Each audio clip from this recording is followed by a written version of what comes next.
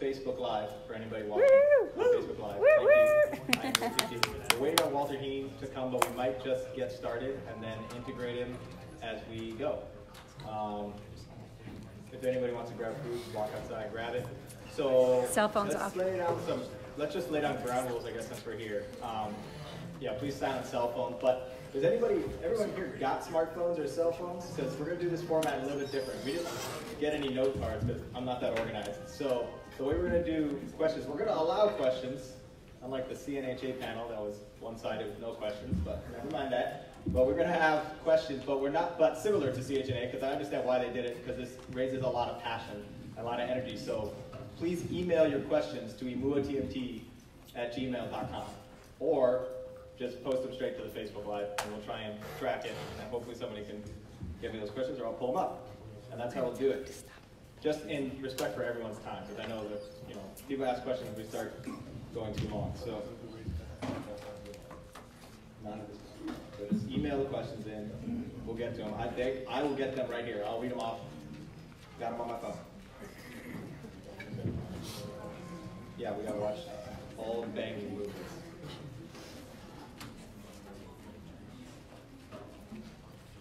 All right, well, I think let's get started, and then when Judge shows up, we'll go from there.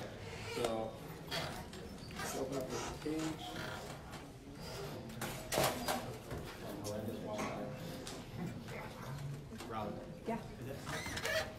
Hmm?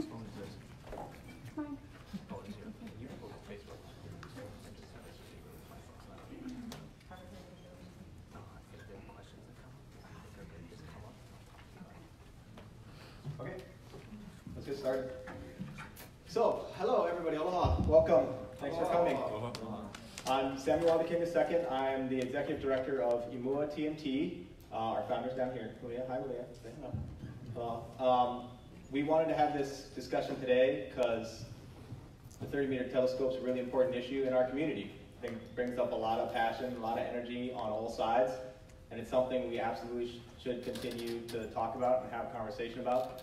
And in Imua TMT's opinion, we just hasn't, our voice hasn't got out there, and that's you know our responsibility in, in a lot of ways. So we wanted to have this panel discussion to be able to open that dialogue and start that conversation, and hopefully we can continue on. Hopefully we can have more people, more panel discussions, you know, more discussions with both sides and at the table, in front of the audience, in front of the cameras. Thank you to all the news media that showed up here too to help us, you know, have this conversation. And so we'll get started.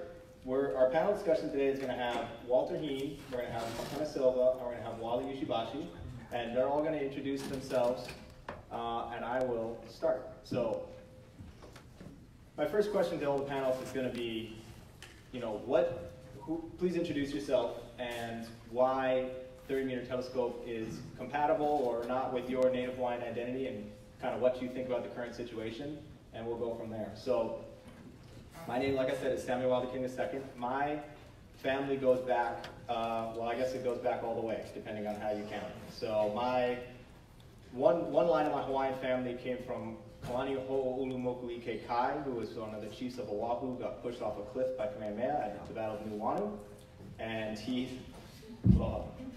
We, uh, one of, one of his uh, one of his daughters was then given to one of my European ancestors, Oliver Holmes, uh, who was lost at the Battle of New Nuuanu, but was not pushed off a cliff. And he ended up, and then his children uh, carried on. One of my my next ancestors, or there were, I don't know the genealogy as well as I should, but the next line down was James Anderson King, uh, married to another um, Native Hawaiian lady, and named Mahi. Um, he was actually part of the provisional government after the overthrow and was one of the ministers, I think Minister of Interior or something like that. And it kind of goes, if you want to know a lot about that, I brought this book just for everybody, which I've been plugging like it's my book, but it's not. Hawaiian Sovereignty, Do the Facts Matter. It used to be like 30 bucks on Amazon, and then I started telling everyone about it, and now it costs $350. It's out of print. so Google it. It's free on PDF, um, being maintained online. So if you Google it, you'll find it. Uh, after that, my great grandfather was James Anderson King's child, uh, Samuel Wilder King the first. He was the first Native Hawaiian governor of the territory of the state of Hawaii. My grandfather, Samuel P. King Jr., uh, Samuel P. King, he was a federal judge that was involved in many cases and was involved in broken trust, along with Professor Randy Roth, who I think is here in the audience. Mahalo for that. Um, my, my parent, my dad is Samuel P. King Jr., my mom's Adrian King, they're both attorneys in town, and I'm Samuel Wilder King II. Everybody thinks I'm the third judge. No, no, no, no problem. I'm just blabbing, so you're good to go. and my son is Samuel Wilder King III. And his name is Kalani Ho'olu Moku Kekai. And then my other one is Jackson, and his name is Kalani, uh, Kalani Kapua, is my name. So I got both my kids named after me. I'm like George Foreman the Hawaii. but, you know, my aunties, that's the names they chose, and you, the aunties say that's the name, that's the name, that's where you go. So my opinion on 30 meter telescope is that I think it is a fantastic project. From the, from a project specific question, my opinion is that it's paying us tremendous economic dividends, obviously unlike any telescope that's ever come before it. And there's a reason for that, and the reason for that is that we stood up and we said, you know, this one dollar thing was nice back when the tsunami hit the Big Island, and that's why we brought the telescopes in the first place, and we wanted to have that business and that economic development. But after that, we really want some rent. We really want some economic development. And 30 Meter Telescope came in and worked with the community to say, what can we do and what can we offer? And what they offered was, well, we can pay you a million dollars in rent. We can pay you a million dollars for a scholarships for taking on the Big Island. And we can have a workforce pipeline to get the, these students into high-tech jobs, high-paying jobs that's diversifying our economy away from tourism. That's awesome. On top of that, it's studying the heavens, it's studying, it's advancing humanity, and it's blue sky thinking, the kind of stuff we need to do as, as humanity, in my view. I think that the issue of my Native Hawaiian identity, there's, there's no clash. I think they can both be melded together. I mean, I think the story has been told numerous ways by people with a lot more authority than me, including Kalepa Baybayan, about how our ancestors were navigators and our navigators continue to be the best celestial navigators in the world. And that study of the stars and the heavens can continue, and it can't continue on Mauna Kea. And there's other people that have said the same thing and talk about how because of the because of the way the mountain will be used by the astro- by the astronomy community, and because of the fact that the astronomy community has been taken to task, rightfully in some cases, about how they manage the mountain and how the Office of Mauna Kea Management has reformed that, I think that the business and that opportunity is excellent, and it can preserve the sacredness and the special spiritual nature of the mountain. So that's where I'm coming from, and I think the issue is bigger than just the TMT. It's obviously, like everyone knows now, this is not just about the 30 meter telescope. It's also about the history of Hawaii and the story that we tell ourselves and the history of where we came from and what everyone knows. I mean, I'm learning a lot. I mean, back, back before I started reading all this, I thought the United States of America just landed troops and invaded and took over the place. And I found oh, that wasn't exactly how it went down. So that was a fascinating thing to learn. You learn about how the United States of America told the revolutionaries to give the entire monarchy back, and then they didn't because they had de facto control of the place. And that's an interesting factoid because I've also heard people say the kingdom's still around. And those people I've spoken to on Mauna Kea when I've gone up there. And I've talked to them about what is, what is the proper authority of the state. And they believe that they have the right to civil disobedience and to block the road because they believe the kingdom still exists.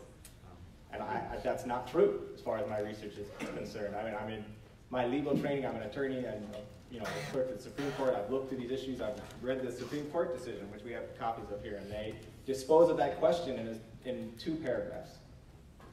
And that's something I don't think a lot of people know. I didn't know and didn't talk about, and that's why I keep telling people to at least read this book. Which, and the reason again that I recommend it is because my grandpa's on the back saying this book is a must-read for those who wish to further the sovereignty dialogue. read the book. So I think it's an important conversation to have, and I think we're having it. So I appreciate everyone being here. That's me. Judge, why don't you introduce yourself and talk about where you're coming from on this position, and we'll go from there. My name is Walter Heen. I'm a retired judge. I got tired of working. Actually, I did really. I, uh, I became the manager of the Office of Mauna Kea Management, or the director of the Office of Mauna Kea Management. In the year 2000, when the, uh, when the report on the uh, extent of operation of the Mauna Kea observatories and the plan for restructuring and for installing the larger telescope. I took the, took the job because I thought that it was very important that the telescope be installed. Not just from the standpoint of the preservation or forwarding of the knowledge of, of, of stellar observation and the history of the world, but because it stood in my mind as a monument to Hawaii's amazing use of astrology to travel from the lower Pacific to the northern Pacific, and then in between the islands. And it, it, it was a stellar performance of using the stars to find out where you are and where you're going. Push this a little bit away. Okay. I always did talk too loud. um, when, when I when I had, when I took over the job and I agreed to become the manager, I really didn't know what was going on up there, but I did remember this. When the first large telescope was proposed for installation, I believe it was in Jack Burns's first term in office, there was a large protest and attempt to dissuade the, the state from the territory from installing a telescope. And the protest then was essentially the same as it was and is now. This, to Hawaiians, is a sacred piece of ground. And they don't believe that it should be desecrated in any way. I agree that the mountain is very important to our genealogy, to our background, to our history, but I also believe that the Hawaiians believe in sharing, and they've been sharing and sharing, perhaps too much, perhaps not. But I do believe in the telescope. I do believe that it is an advancement in knowledge that Hawaii can be proud of and Hawaii and Hawaiians can benefit from in the long run. And Judge is being a little bit modest here. What else have you done exactly, Judge Heen? You were a House rep, you were a senator in the ledge, you were also OHA trustee. Is that I've been around the track a few times. And you're only 50. So great. Okay. Makana, why don't you introduce yourself, Makana? Tell us a little bit about yourself and where you're coming from. Hi. Yeah, hello, my uncle, everybody. Uh, my name is Makana Silva. Uh, I know more uh, real long history yet, but right now, uh, with background, I'm from Nano. Uh, I'm from a, long history, I That's somebody else. I'm from Makaha, uh, grew up out, out that uh, went to Kamehameha Schools, grad 2014, and then went to UH, Manoa, grad 2017 with my degree in physics, and now I'm going to Ohio State working on my PhD in physics. So actually, right now, I should be in school working, but I'm here right now because I think that this is something that you know I need to be part of this discussion. That we as a, as a community, as a people, need to be we need to have this discussion. And at least for me, where I'm coming from with the TMT is that yeah, I, I do support it. And for me, it's not even because you know a lot of people tell me it's because my bias I study physics and whatnot. But I mean, even bef- for me, the thing that really pushes me to take the stand that I do is because I believe this is a new way for us to practice our culture, a new way for us to practice what the Hawaiians did and still do in the past to get to where we are now. And that's just kind of what I'm going to advocate for, is that this is a modern way to perpetuate our culture in a global, in a, in a global manner. And to me, I think that's, that's the most beautiful way to pay homage to our people then and now. So that's just a little, I mean, again, I don't know my long history, so that's about it from me. Wally, you can take it. Solid. Wally, you probably have a long history on this subject, longer than everybody, so why don't you give us a little bit of that background, you know, to the start, talk about where you're coming from, and, uh, where you are now. Hello, my kako. Aye, aye, Ishibashi. OMKM Senior Advisor for Director Stephanie Nagata. Um, historical people. Historical events happening to our Lahui, our kingdom. I came here I wasn't on the agenda, but I just crashed in this party. It's, it's a wonderful party we're in right now. The unification of our kingdom is, is, is before us right now. I'm going back in history a little bit. I retired from the ILW. I was negotiator on the Big Island. If you look from the overthrow to 1920 when the Hawaiian Homes Commission Act was formed. You look when the ILWU was formed. You guys got to go do some homework because it's many years of history we're talking. When the ILWU took over, we continued the fight of the overthrow.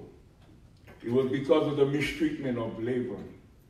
It was because of the poor living standards in Hawaii. The kingdom wanted the best for our people. They thought that that was the way, sugar. But we ended up USDD, 50 cents an hour, four bucks a day. you got to whistle for your money. so we had poor working conditions in Hawaii. That's why the ILW came forward. We're not ambulance chasers. It's because how you treat the workers. That's why the unions was formed. So LW was very social, economic driver for the state of Hawaii back in the day. It was the ILW. So I'm proud to be retired from there.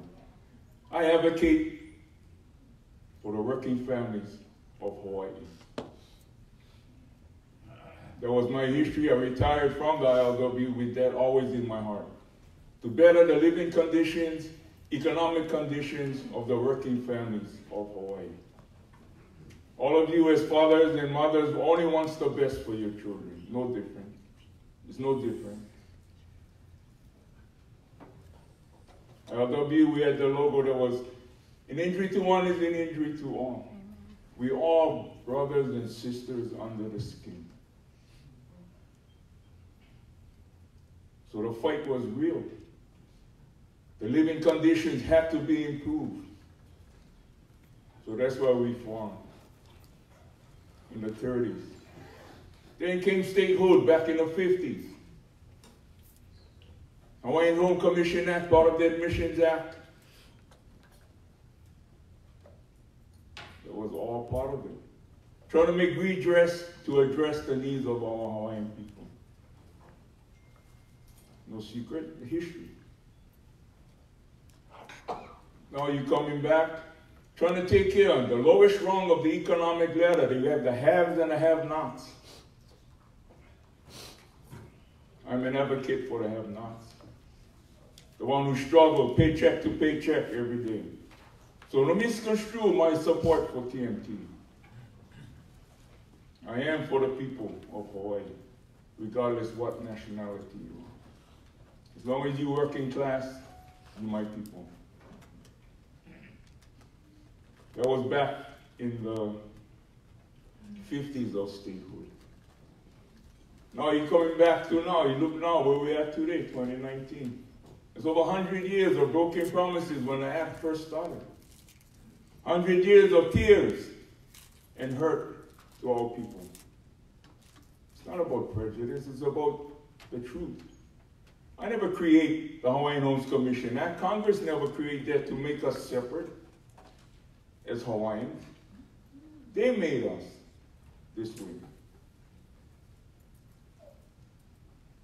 So we got to deal with what we have. the hand that was laid before us, the cards we're dealing with. We gotta work within the system to get what we want. So that's why we gotta move forward. So don't misconstrue my support for TMT as selling out the Hawaiians. No. Half a loaf of bread is better than nothing. How are we going to get economic rehabilitation for our people? How are we going to get educational opportunities unless we use the vehicle? Ride that horse, drive that car that TMT represents and take us to where we can go to the future. If not, we're going to be ending up in the back. And waiting again. And waiting with more broken promises more hurt feelings and more hurt. It's not about dividing our people. It's not inclusive. We've got to be inclusive, not exclusive. We all live here on an island. We all should be helping each other no matter what. But never forget who this island belongs to. The wrongs that was done is true. It was, it was done. It's documented. There's no dispute. But we got to move forward. I have a lot more to say, but we're going take it from there. So, yes, born and raised, Kilcom. My family is the Puino family from Minoli, Kopulena, Kukui Haile. I recognize on the state uh, historic as a cultural descendant of Ka'ohi.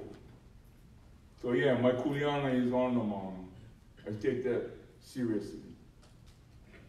OMKM is there to protect the mountain.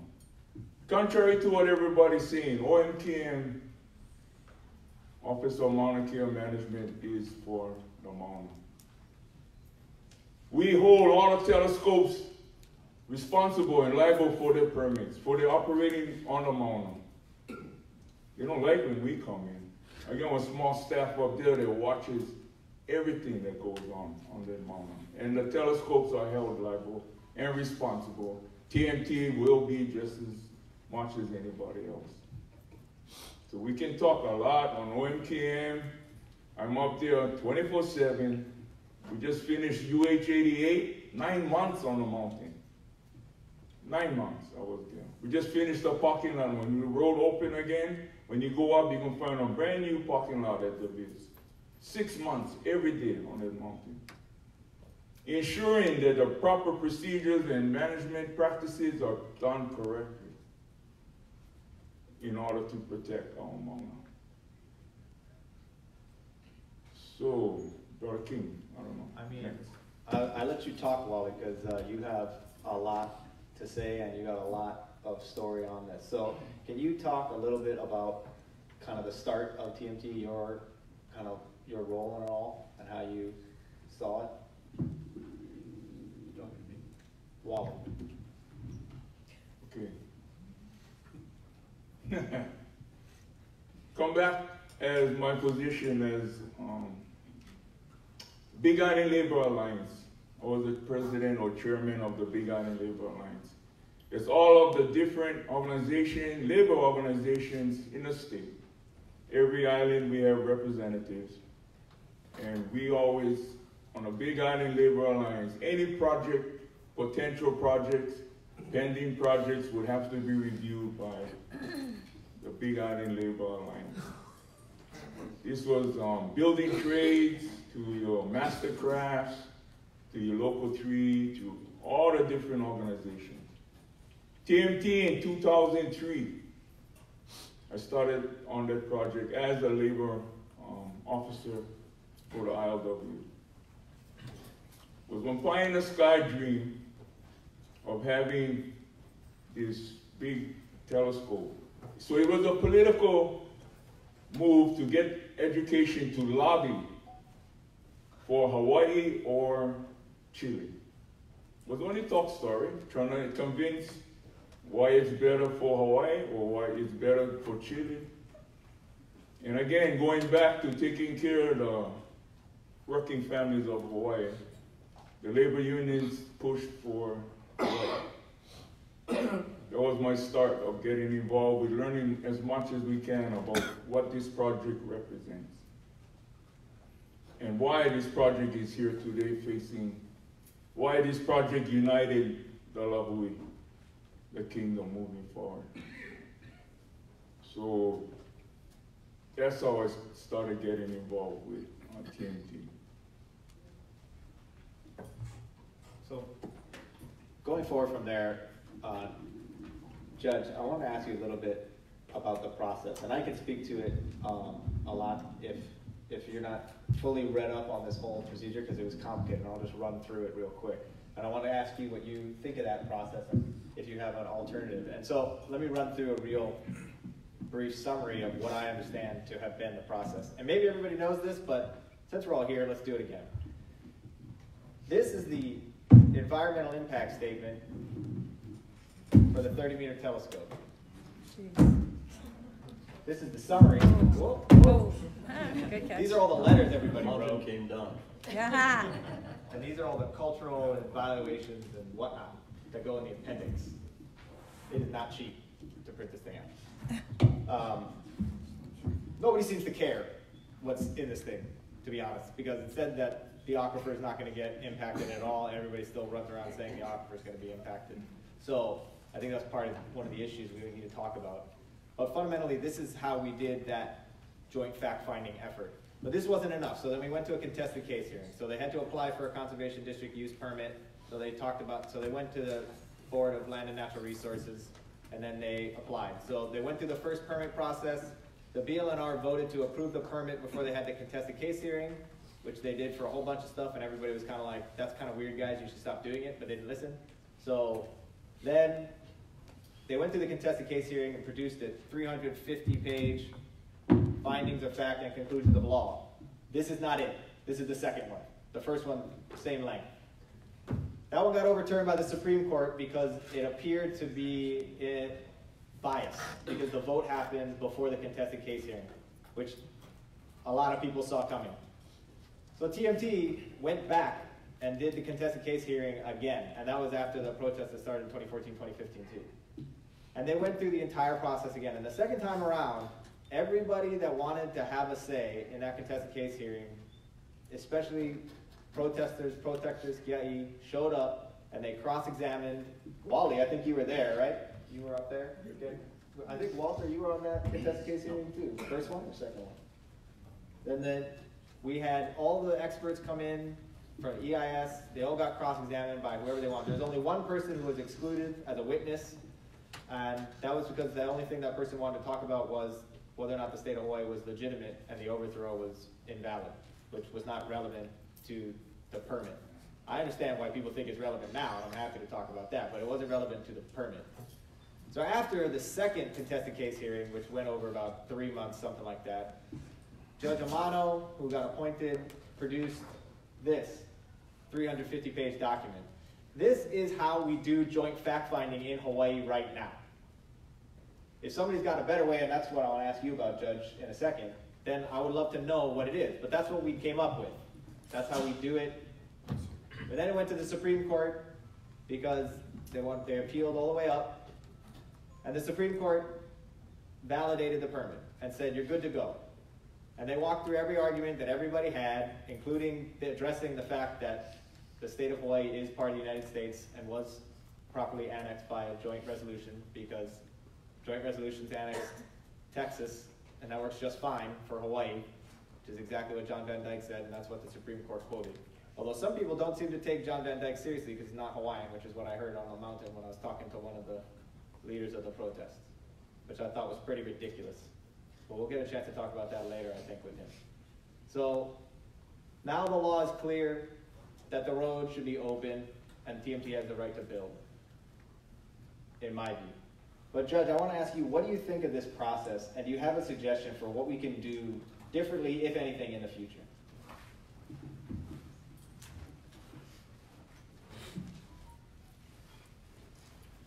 Well, the, the process, after several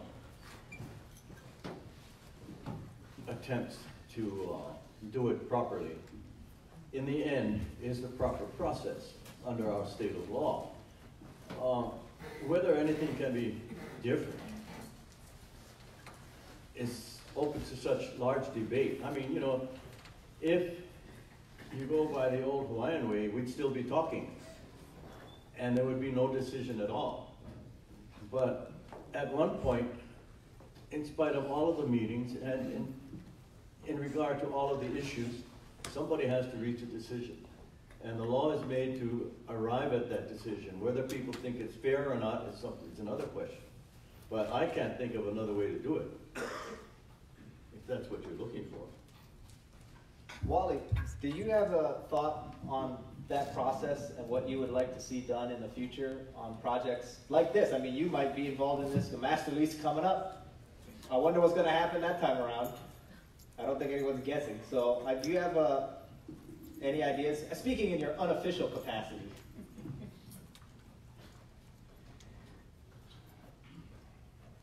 Negotiations. ILW, I negotiated multi-million dollar contracts on conditions of employment.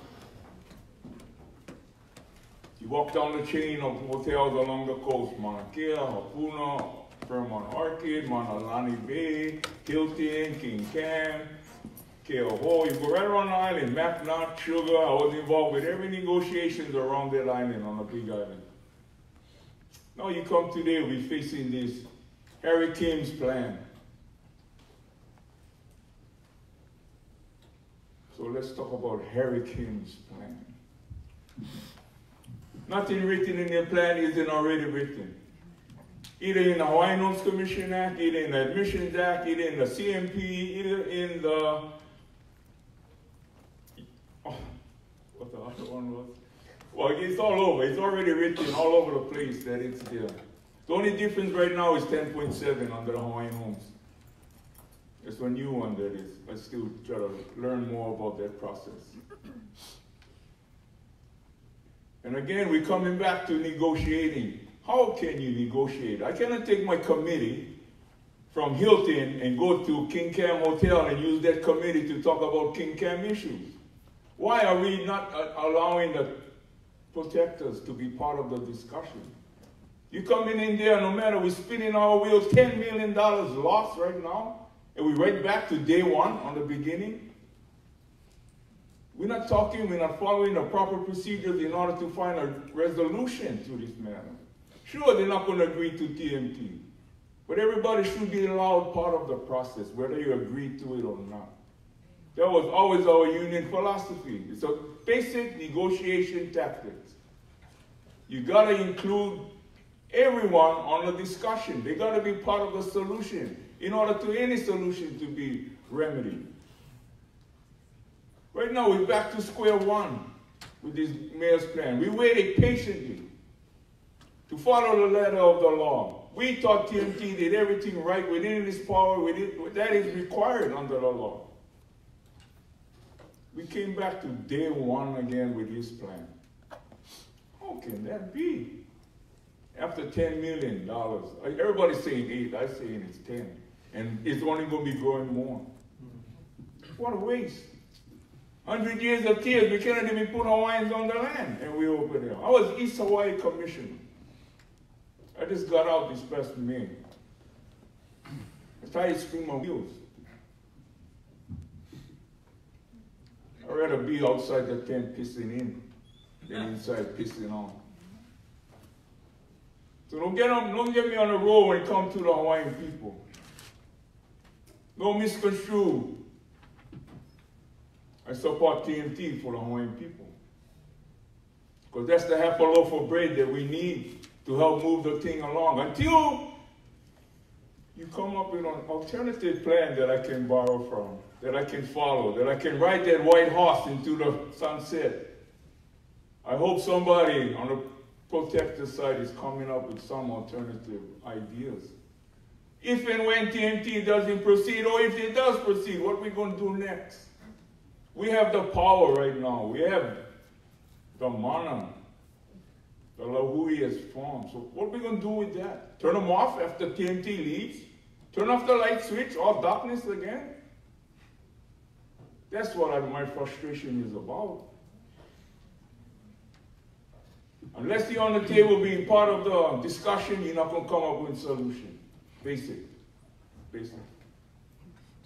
that's a, this is, this is something that's very interesting to me, because I think at some point, the conversation about who's negotiating and who's at the table needs to happen, but the challenge is, I think it's our Kuleana now to have that conversation. And by our, I mean the unelected citizens of La Jolla. I mean, I think the governor would be great to go up there, but, I mean, I'm gonna ask you about that in a second, what you think about that plan. And I think it would be wonderful if the governor was talking to the protesters, but I think there's something that's important to recognize, which is that the governor's job is to enforce the law. If the protesters are gonna talk to him, I'm all for them talking to him. I don't know if they're going to, because every time I hear the news, they're telling me they're not gonna talk to anybody because there's no point talking if TMT is gonna go forward. Well, that doesn't really get us anywhere. But I think we gotta have this conversation. We gotta do more of these panels, more of these discussions to come up with more solutions. Like, like Wally said, we got the, we got the money now. Everyone's paying attention, so what's the plan? I don't think the plan is, we're not gonna build a telescope and get all this money just because we have a specific fight going on right now. What I think we need to do is have this conversation. But the governor, I think I see why he's a little bit worried about talking to protesters because we don't want to validate civil disobedience for this long. At some point, the protesters do not have the right to be negotiated with all the time just because they're breaking the law. Are we going to have people breaking the law all the time? I mean, I was just asked by Mahealani Richardson the other day about what I thought about the $8 million spent. What I think about it is, when are the protesters going to take responsibility for that? Where's The Rock? Or where's Jason Momoa? They got 8 million bucks. They built this platform for everyone to come talk about. I don't know anybody that talked to The Rock on the pro TMT side because I asked them all and none of them talked to him. So I would love for them to chip in 8 million bucks. Everybody likes building buildings and putting their name on a building, but nobody likes putting in a maintenance fund. And that's what we need for this platform that we built. We got all the money in for building it, but now we got $8 million maintenance bill. Well, who's responsible for that? The governor. The taxpayers are going to be paying for it, is who's going to pay for it. The taxpayers, us, that's who's going to pay for it. And at some point, we got to have a disincentive for having this kind of protest, or else we're going to have it all the time, and we're already seeing it. So, Makana, what do you think about this process of having a negotiation with everyone at the table? Hurting yourself. I mean, for me personally, I think that's the first step to any kind of compromise, is to just get our voices out there, to have everyone throughout the spectrum involved in this, this problem, kind of just talking, allowing, right? Right now, the main channel of dialogue is through social media, they get attacked, and, you know, it's just, it's not really constructive. We're just kind of tearing each other down. As much as the law is building, even within our own communities, people are being torn apart. So, to me, I think to have, I mean, not just the governor, even on even on a grander scale, the, the influential communities, groups here in Hawaii, you know, KS, OHA, the Voyaging Society, to have them come to the table because they as well are very influential and prominent figures in this discussion.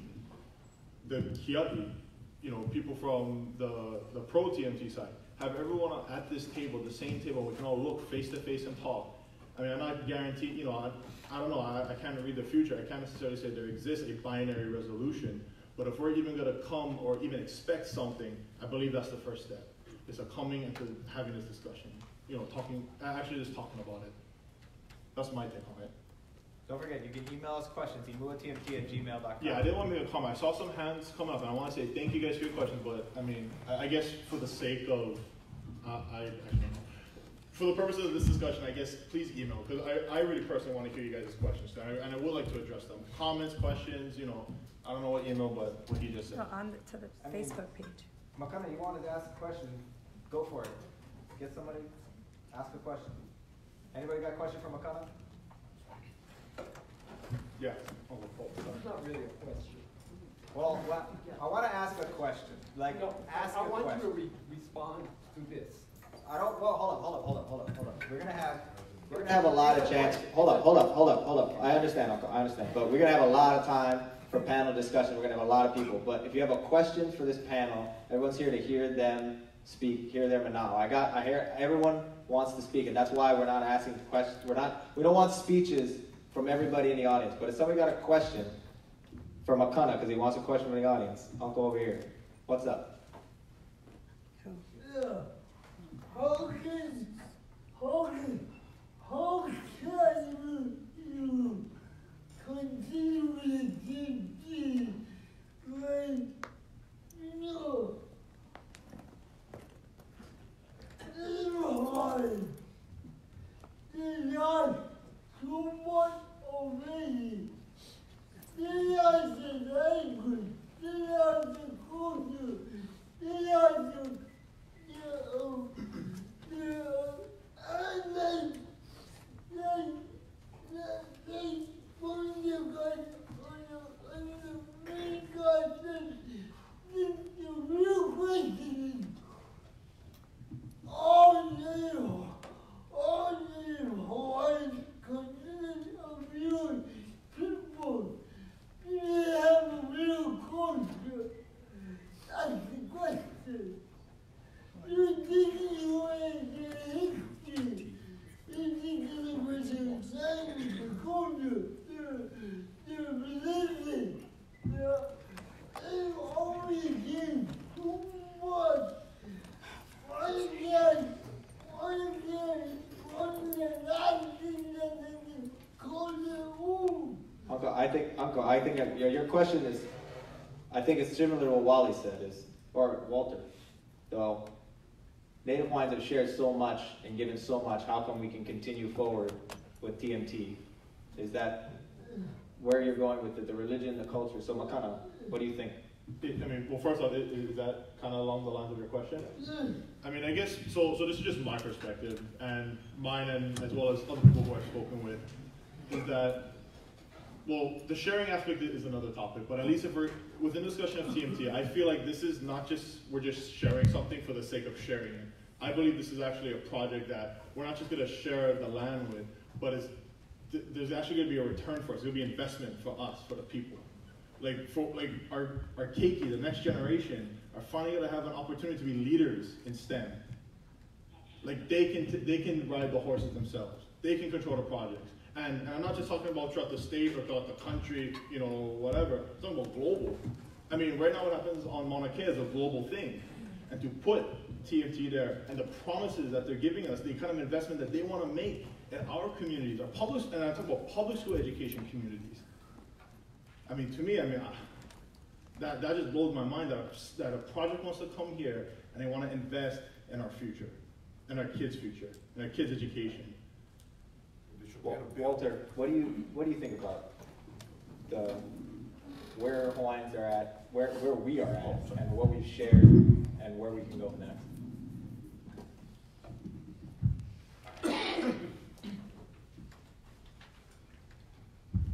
Well, you know, it reminds me of a question that was asked of me many, many years ago. In fact, I think it was asked of me by my father.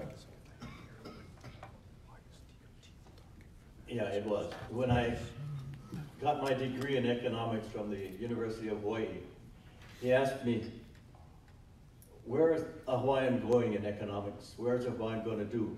I said, get lost. And at this point, with respect to the issue of Mauna Kea, we are lost. We have a group of individuals banded together to protest Mauna Kea. And that protest is not just about Mauna Kea. It's about everything that has transpired in the history of Hawaii. And to a large degree, they're correct. They're absolutely correct. But that was then, this is now. We have to understand that we live in a world that we don't control. We control parts of it, but we don't control all of it. But in order to maintain our control, we have to develop our strengths, our education, and move forward. And part of moving forward, I believe, is allowing the construction of the 30 meter telescope because it opens up for our people, our children. And I've expressed this and stressed this to the developers and uh, the authorities at the University of Hawaii. You have to take this program of exploration of the stars down to the community of Hawaiians. Get Hawaiians involved in the ancient history of their islands. The ancient history of the islands is written in the stars. It's what brought us here, it's what's going to move us forward. But without that support, it's going to be a tough road. And they're on that road now. Wally, speaking to what Walter's point is, what, do you feel that TMT engaged with our community, with the Native Hawaiians, uh, Kahu you, the other members on Big Island? Yeah, um, TMT did really a good faith effort out there throughout the years. Been involved in a project since 2003, 2004. Yes, there was numerous, numerous meetings. Was it enough? I don't know. Maybe not. Maybe the wrong group was being talked to. That's what we're finding out now. But there was many attempts to reach out. The Kahu Ku Mauna Board consists of what? Consists of Kamehameha representative, employees. They was all there. We have pro- protectors on Kahu Ku Mauna Board for years. For years. Board of directors was there for years at different organizations because we are a community-based board, community-based Hawaiian Advisory Board. Let's go. So we had many different people on the board talking to TMT. You know, so it's yeah, we did good faith attempts. Put it that way. Uh, we got, so we got an email in, so what kind of, so this is for, Makana, this is for you. Wait, hold on a second. Well, yeah, I mean, I know, we, we'll come, we'll come back, we'll come back, we'll come, we'll get you, we got you. I know, I know you committed, we got you. Oh, we ain't gonna leave here at twelve fifty, I, don't- I ain't leaving at one o'clock, I mean, everybody else, you guys, let me know what you're gonna do. We have this question, what kind of message will stopping TMT send to the children of Hawaii? What kind of, why don't you start, cause that's kinda you. I mean, for me, this is all about interpretation. Sorry. For me, this is all about interpretation. If I were to see TMT go, being, I mean, being on the side that I'm it would kind of be, in my opinion, the decline of like Hawaiians, Hawaiians uh, taking a leadership role in STEM. You know, at, at, least, at least through the lens of astronomy, through the lens of astrophysics. Because when that goes, that's going to send a message to other projects that want to come here and want to contribute to the community. And with that, it, people, in my opinion, people are going to start asking, so what do I do? Like, what kind of future am I going to have? Like, like, like, what's the point of actually like pursuing these kinds of educations, these, these higher educations into STEM? And I think the avenues to, to, to actually go and be leaders in STEM are going to be that much more hard, to be 10 times more hoops. There's just so much more difficulties associated with it. I mean, money's one thing, but just having, re- like, money's just, you know, one way to get your education, but then you have to get the resources, you know, to actually conduct research, to actually get them published, to, to get it out there. You know, science is all about doing the research and et cetera, et cetera, but then is about communication, about getting it out there. If you don't have a way to get it out there, I mean, that's, that's not science, not the science that we get. So ultimately, that's, that's my take, is that the decline, in my opinion, of just education and leadership in STEM is, is what I would predict would follow. Okay, I was, actually, I have no idea what the answer to this question was. so actually, any of these questions, but when you were growing up, did you think that you were gonna do astronomy in Hawaii and astrophysics and physics like you're studying now? Did it translate, I mean, did any of the stuff that's happening in Mount Kana, astronomy, the discoveries, did that feed into your life when you were growing up and your studies? I mean, if I'm being completely honest, my journey, for, for, I mean, for those who know me, my journey through physics is more of a recent one. I've always been kind of into science, but I have to figure out my way through different sciences. I've obviously heard of like the, the contributions Mauna Kea has, has made to the world of astrophysics um, in high school and whatnot. But I was never really as involved as I was within like the last couple of years, really involved with it. And I mean, where I'm at now, I feel like it's a dream for me, myself, as a local boy, to come back here and to, like, I'm, I'm, I'm talking about the dream, dream, with all the stars aligned, to come back here and to not just teach, but people go back to Waianae. I mean, you know, for, get plenty of community, but my heart's in Waianae, so that's the first place that I go. Go back to Waianae and give back the things that, for me, I, I never got exposed to. If I didn't go to Kamehameha, so my freshman year was actually at Waianae High School. When I went to Kamehameha, I was a transfer sophomore year. If I never go to Kamehameha, I'll be real with you guys, I probably wouldn't be here. I'm not saying it's impossible. I'm just saying that the resources available at Waianae Kamehameha schools is night and day. And for me, it really helped get to where I'm at now. So, you know, the like TMT is kind of, in my opinion, a pivotal beacon to just education. Big thing, education. And, you know, maybe if you have that kind of passion, at least the way I do, that you can take that education, you can promote the culture, you can promote it in a unique way. So that's, that's my take on it. How Are we, Um, yeah, Uncle. I'm sorry, Uncle, we can't you? Yeah, I have some constructive criticism, you all talking Question. about. Uncle, uncle, uncle, we want, we got, everybody, we got the same, we got the same thing back here, we got the same thing, we want a question. No, it's a question. I'm talking, We- we want a question, I'm uncle. talking now. Uncle, Let me, we- let me speak, a question. Let me speak. We can have you on the next asking you this panel. question. Why wasn't the protectors, the KI invited, you all talking about bringing you, everybody gotta come to I can answer that. I can answer that, I can answer that question. So first Now, off, Also, you're talking about construction, giving the local people jobs at WU. You got twenty-seven thousand Hawaiians waiting for their homes, or building homes. You got construction work there. I agree with you on that one. So on the first question, Why- I, I, I don't agree with you on that one, but I agree with you on the first one. But on the question of why the panelists, why any anti, uh, protesters were not invited, I'm inviting them right now. You, imuatmt at gmail.com, you send me an email, we do another panel. You let me know when. I, I saw the CNHA, CNHA had a platform, that's the Council for Native Hawaiian Advancement, at the Native Hawaiian Convention, and they had a panel about TMT. They didn't invite me, and I emailed them a couple weeks early, and they had a little thing that said your program might change, you know, it might come up. I didn't go, I wasn't there, so why didn't they invite me? Where was I? Where was Imua TMT? We out there, they're using our logo illegally without our permission, so they know who we are. So you could definitely have put me on that panel. You could have put Makana on that panel. Anybody can get in touch with me, imuatmt at gmail.com. We will do another panel. I welcome it. Every time I've tried before, there's been resistance. So that's why they're not they're not here now because I know these guys. Nobody else has contacted me. So I'm happy to have that. As far as Hawaiian homelands, I agree with you 100%. I don't understand why we ain't building homes on DHHL land, left, right, and center, high density, all kinds of things. I don't know what the issue is. I, I would love to find out. So we got another question online. This one is about Ho'oponopono and Wally. I think you spoke to this, and you know, Makana, I think you might have an insight on Ho'oponopono too. But Wally, do you think Ho'oponopono is a way forward to resolve this issue? Is it appropriate or is it not the right mechanism? Too late. We, we should have done this long time ago, 10 years ago. That's, that's the problem. So yeah, we, we discussed this over and over, beating this over. I'm not here to discuss about all the benefits TMT bringing to our community.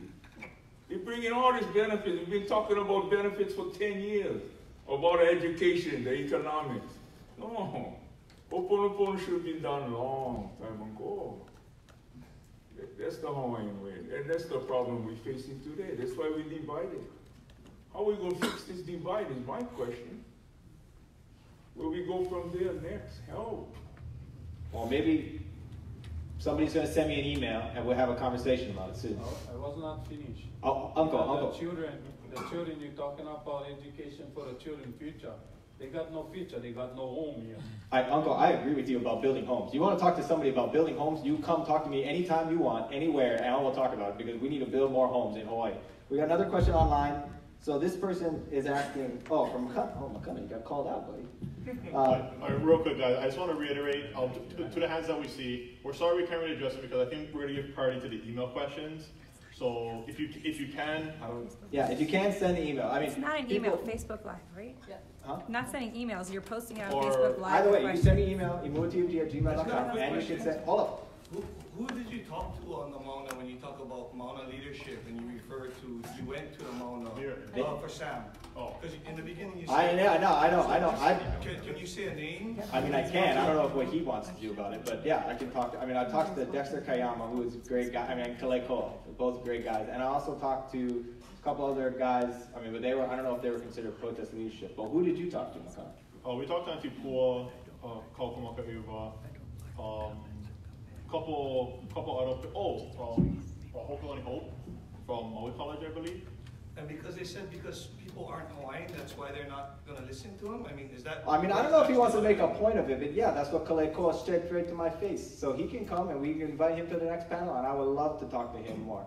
Because what I also heard up there on the Mauna was that people think that Hawaii is infected with settler colonialism. How many people, raise your hand, you know what settler colonialism in here? Anybody? Half. Good. So settler colonialism is the idea that if you ain't indigenous by somebody's definition, you don't, you're a settler. And you're imposing your law. And I don't, you don't belong here. I don't know what you're supposed to do, but you ain't got the rights that the original people have. I don't know if they're talking about the Marquesans who showed up in 400 AD, or you know the Tahitians who showed up in 1400 and dropped the kapu system on them. I don't know who we're talking about, but that's the deal with settler colonialism, and that's what drives a lot of people up on the mountain. At least when I was talking to the Kaleikoa. and I've heard it before, and I've seen it on the internet.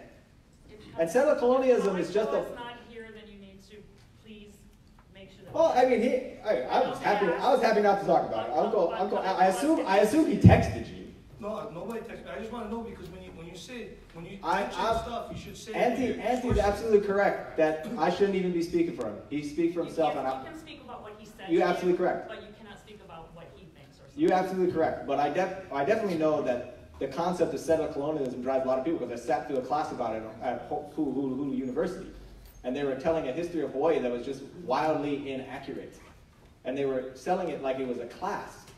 And for example, in this class, somebody said, "Oh well, the definition of colonialism is when a stronger power with more advanced weaponry takes over uh, lesser, weaker power." And my question is, okay, what's the difference between what you think happened in Hawaii and what happened when Kamehameha I took over the islands? Because he conquered from the Big Island. That's why the state's called Hawaii, right? It's not called Maui, because Kamehameha showed up with more advanced weaponry.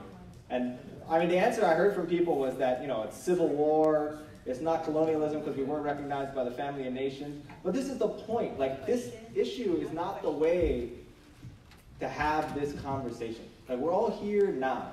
And you say settler colonialism, that's just a polite way of being racist as far as I'm concerned. Because you're just gonna tell people, you're gonna tell my wife she's gotta go somewhere else? She's born and raised here, but she's not Hawaiian, she just gotta leave? Everyone just gotta leave if they're not Hawaiian? All the Japanese people that showed up here, they, I mean, they weren't involved in the overthrow, suddenly they all just gotta leave, born and raised. The guys involved in the overthrow were Hawaiian citizens. They all just gotta leave? That's the issue with bringing all of that stuff up. So I think, I, I think I see a question who's actually been up there for a while, I'm sorry. Yeah. My name is Kenny, my name is Kenny Burke. I'm from uh, Moko, Keawe. Um, I, uh, I'm one of the protectors that got arrested. And, uh, and he said, "You can make it to us," he said, TMT is never gonna be built. Um, I worked with the LNR for twenty-five years, so I know Mauna Kea. And, um, we don't want, you have thirteen telescopes up there right now. Three is obsolete. When are you gonna remove those? And when are you gonna send this plan of TMT, which is gonna be as big as the whole stadium, to the Canary Islands, because we don't want it here. I'm speaking for the protectors. Does he have a Wally, question? I think that's you guys. It's never gonna be built here.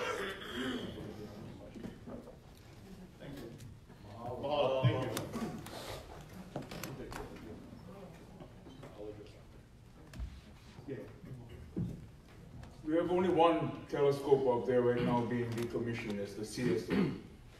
Okukea, brand new telescope, two million dollars, sitting in a closet down one warehouse. All the other telescopes are producing good science. They're all productive, they're all doing good science up on the mountain. So they're sacrificing five by, the, by first light of TMT. It's not my call, it's UH's call. But that's not gonna solve the problem. We still on zero, plus zero equals zero by the end of the master lease. So, yeah, we understand that fight is there, we understand TMT not gonna be built on a mountain. Yeah. See, but you're right, uncle. That's, that's what we face, that's why we, too late. The process, the train left, the process already is settled. It's up to the governor now to make the call, if we go in or not, that's pretty much bottom line.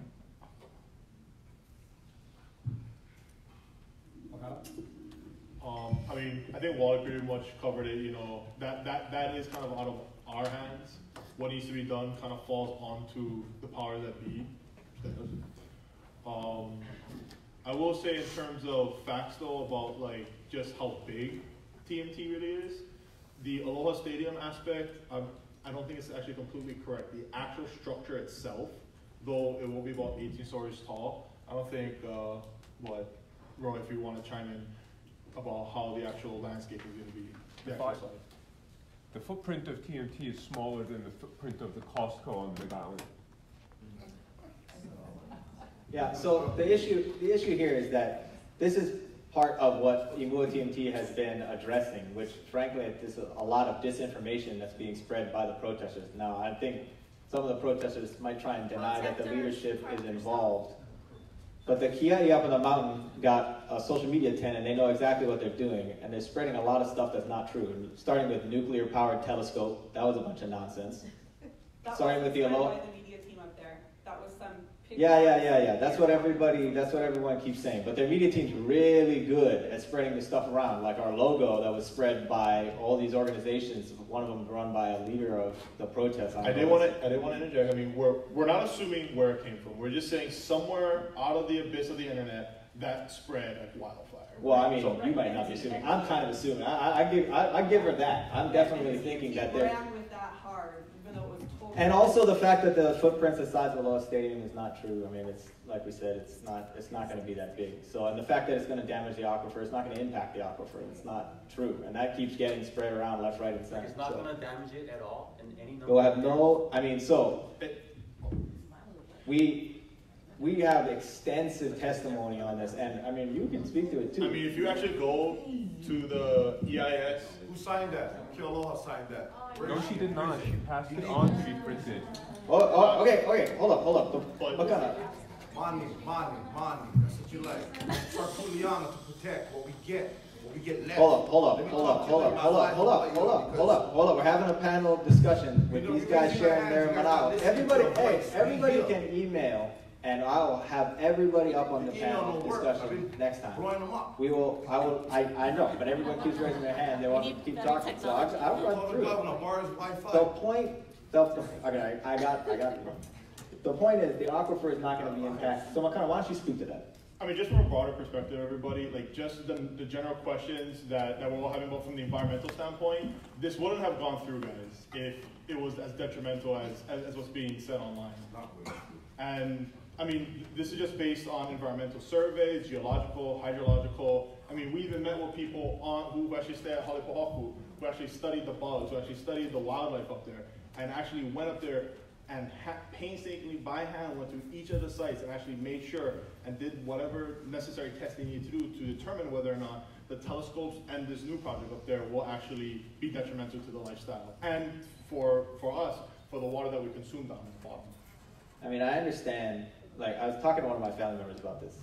And I was like, what, and maybe this is why people think that TMT supporters are horrible, but I was asking, like, what kind of horrible person would I have to be if I thought this thing was actually gonna impact the aquifer in Big Island? I called up the Don Thomas, one of the experts that was quoted. I talked to him about the aquifer, and he, I was, I was learning, we're all learning, and that's the important thing. I mean, like, I gotta relax, my hair goes crazy, my eyes get really big, and I gotta get this. But the whole thing about the aquifer is that if anything even fell, so TMT specifically is a zero waste facility, right? They truck everything down off the mountain. And on top of that, if anything fell on the mountain, up at the top, it filters through the lava rock for thousands of years. So even the half-life of most of the fuel, it would just evaporate before it got to the aquifer. So it's not gonna impact the aquifer at all. And that, and that's, again, that's the other thing about it, is like, how do you wanna do the joint fact-finding in our society? Because we have this whole process, right? We go through all of this, we go through all this stuff, all these books, all these testimony. And if people just say, I don't believe it, there's not much more, I mean, this, how we, we just gonna say that every single time, we don't believe it? So that's why we gotta have a new process, and until somebody proposes it, I don't know what to say about it. So this is one question that came in, like, it expands past the telescope, because that's what. at the questions over there, there's questions right here in front of you. We already said that the ground rules are emailing, Uncle, Uncle back here wants to email me questions, so we're gonna read the questions from the email. So, uh, I did this for everybody here. Uh, Walter, I'll start with you. What are each of your thoughts on Native Hawaiian self-determination? In your opinion, is what is currently happening on Mauna Kea self-determination? Yes, no, and why? I'm sorry, I didn't hear, I didn't hear your question. What, what are your thoughts? Do you think what's happening on Mauna Kea now is Native Hawaiian self-determination or not?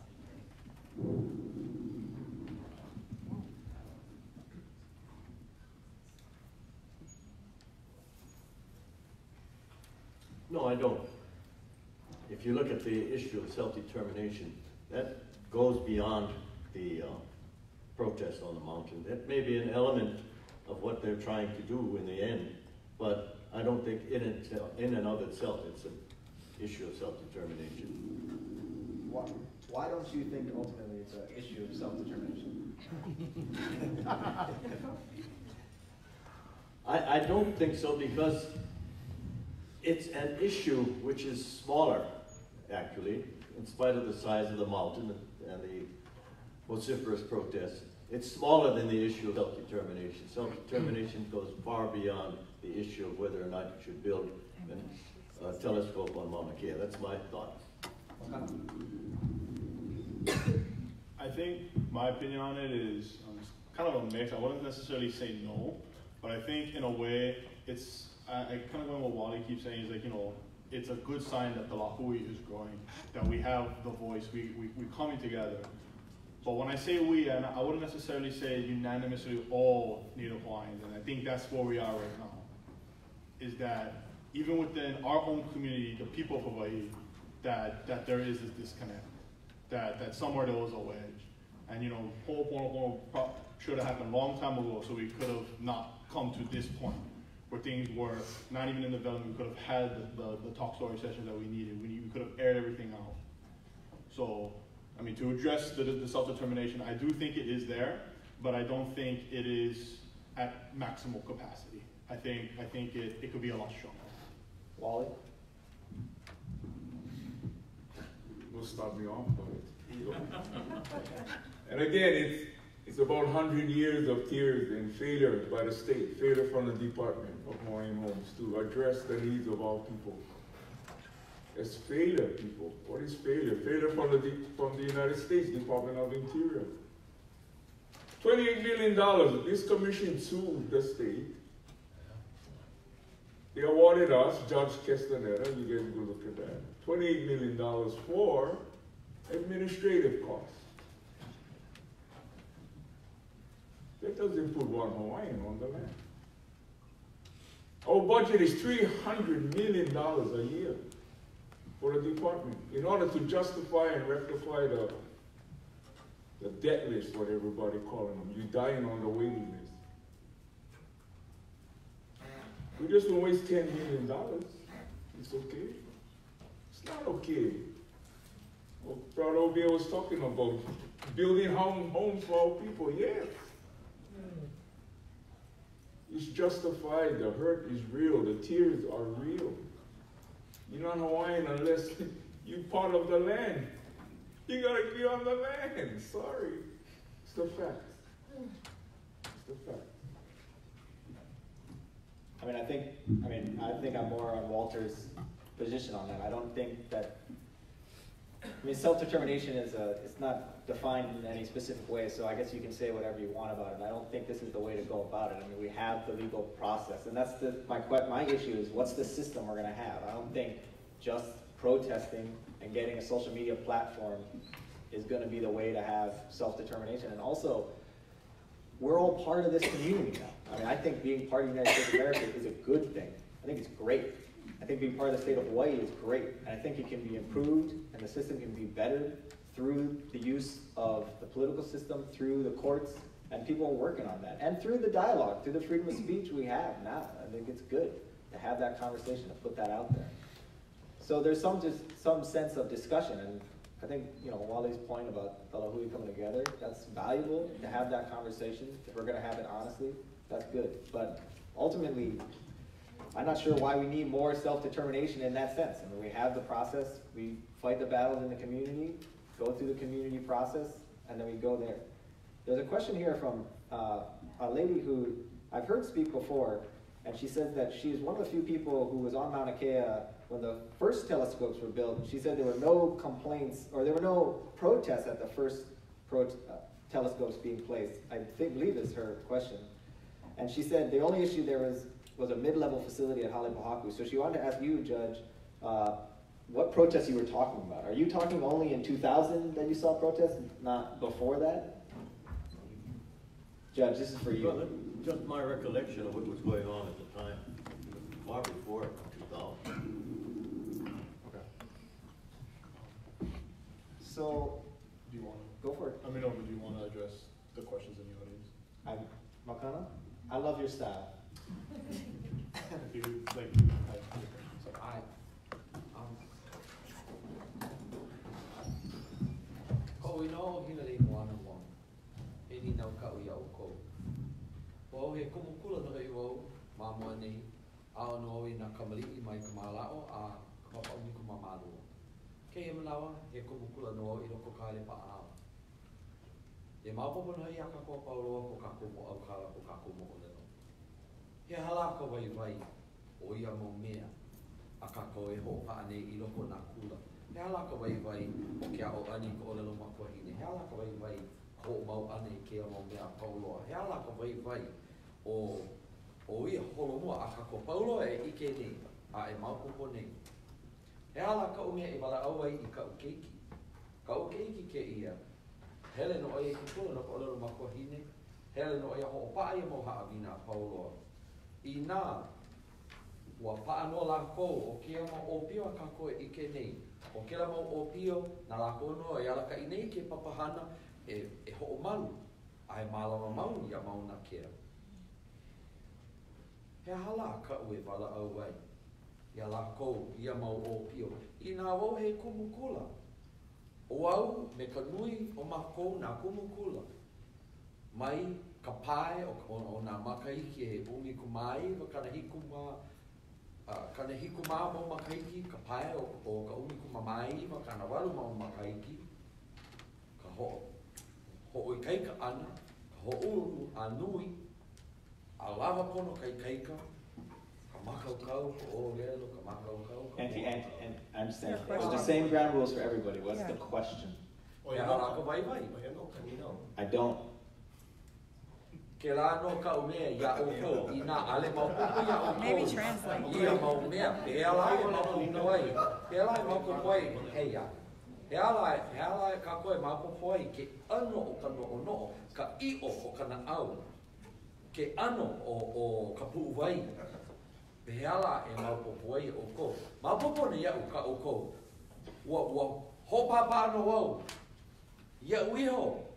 I ka kamaka mua ko o maka ana keia mea no TNT. Ma mua nei, no no, o TNT, mai kai no paha e. Mai kai pa. A, i ke no au, i ka pai o na o pio, i nā lako ke ho i kei ka nei. Ke ike nei no i ka ko i understand where you're coming from. I understand what you're saying. Actually, what, what's the question? If you understand, then you answer the question.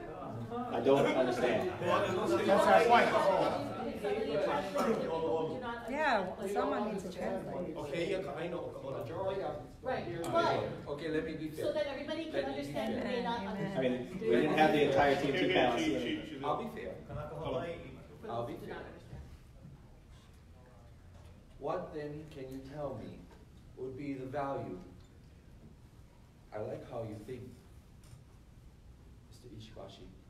What then is the value of these many years of our people? My parents and my grandparents told me, don't be a dumb, lazy Hawaiian. Go to school. So what then would be the value of myself and the cumulative? I'm the one and a half, almost the second generation of teachers. We, we came from a very handful, small handful of you.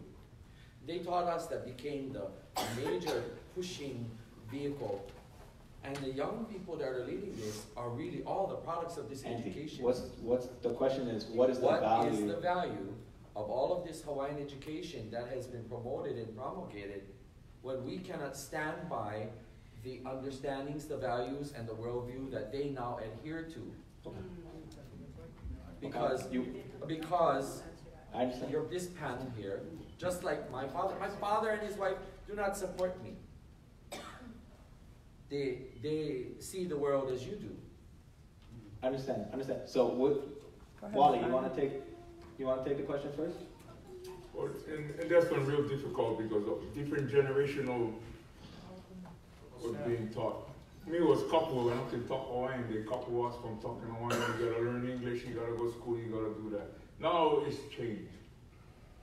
The way has grown, the kids now is educated, they understand the history. The language makes all the difference in the world when it comes to a little. It makes all the difference to understand our people. It, it, it's one big difference than just learning English. So yes, it's, where we go from here, that's, that's the question. Because we have a whole different generation of our children and understand and, and yearn to be Hawaiian. They yearn for that, they, they, they feel. They just one place for go. They feel left out in their own, their own land. If I could just add a little bit to what Uncle was saying, I mean, at least for me, the way I view this is that, with kind of like you said, every step along the way, and you use an example, you're a product of, you know, kind of like your parents and what they instilled in you. And same with me, I'm my parents instilled in me. My kid you be the same way, it'll be product of what I instilled into them. And I think for me, the value in all this is actually looking to the future, is is giving them the opportunity to find more in this world. I'm not, I'm not saying forget about the past.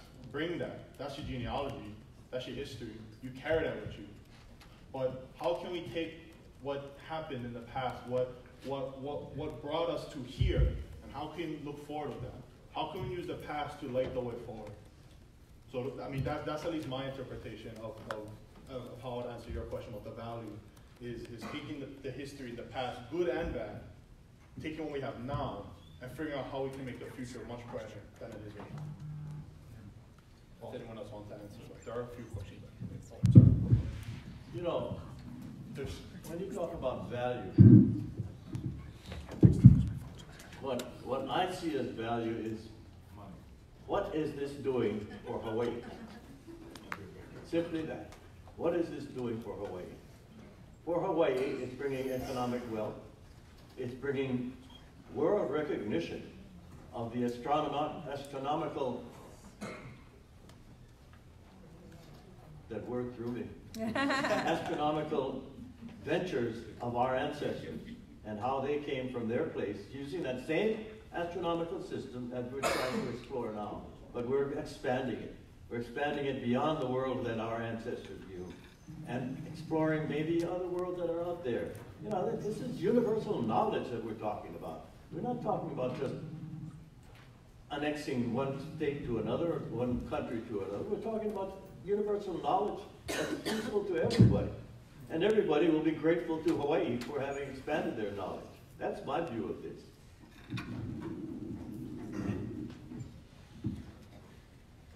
I apologize for saying I understood you. I didn't. I don't speak Hawaiian.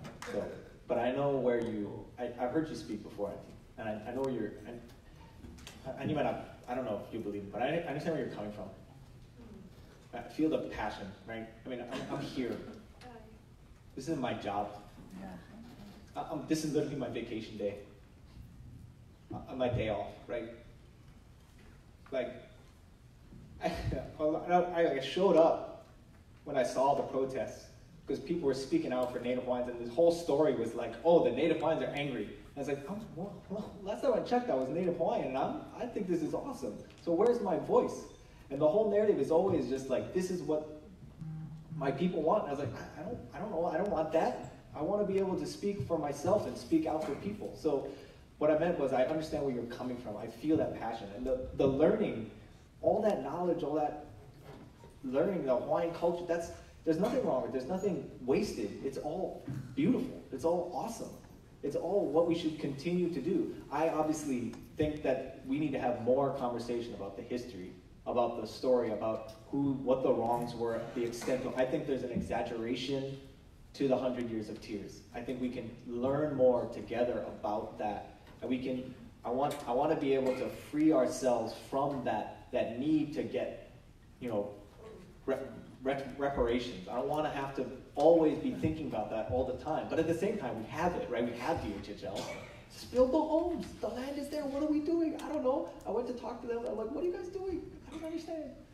So I understand where you're coming from. That's that's why I'm here too. I mean, I, I'm not going anywhere. I, I live here, right? I was born and raised here. My kids born and raised here. My wife born and raised here. Like, I want this because I think it's great for us, all of us. I think we can tell the story in a way where we can meld our culture, all the learning, the Hawaiian language, using Hawaiian language to name the objects we discover.